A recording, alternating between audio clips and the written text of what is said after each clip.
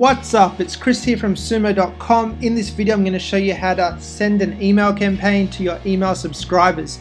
Um, so the reason you want to do this is so that whenever you have a piece of content or you have an offer or anything else you want to quickly send out to your email subscribers, you can do it in Sumo real quick in like a minute. So you just go to email, emails, click on create new campaign.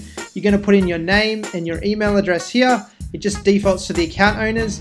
Um, you go to two, you're going to select all your subscribers, or you can come here and you can filter by whoever you want to send to by using these filter options. I'm going to send to everyone, click send to selected.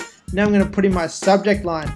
It's going to be Noah shouts the tacos. Um, so that's in there. Now I'm going to put in the preview text. Get your tacos, dot, dot, dot.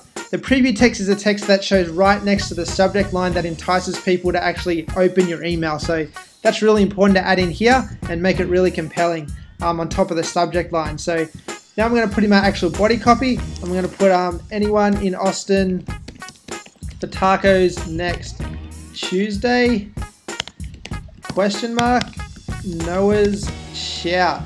Um, then I'm going to stick in a image of Noah here from my media library. Going to select this beautiful image of Noah. He's in. Now I'm going to add a button at the very bottom. So click on button here.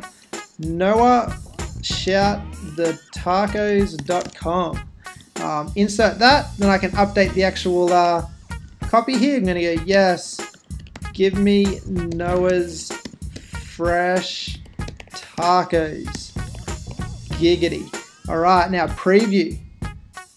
Preview, I'm going to actually be able to see the desktop preview here, and I can see that all looks good. It's all looking fresh. Going to click on show mobile size.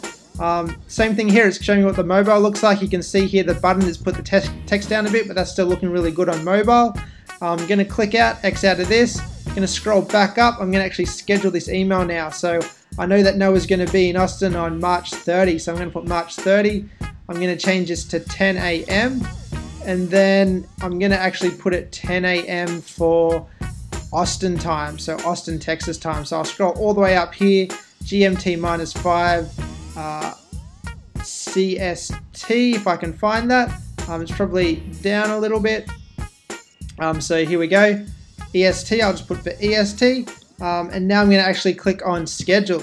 Now it's all gonna be scheduled up and Done. Now it's going to be sent on the 3rd of, 3rd of the 31st, 1 a.m. my time, 10 a.m. Austin time. It's going to go to all email subscribers. It's going to be sent by email. So super easy to create an email inside Sumo.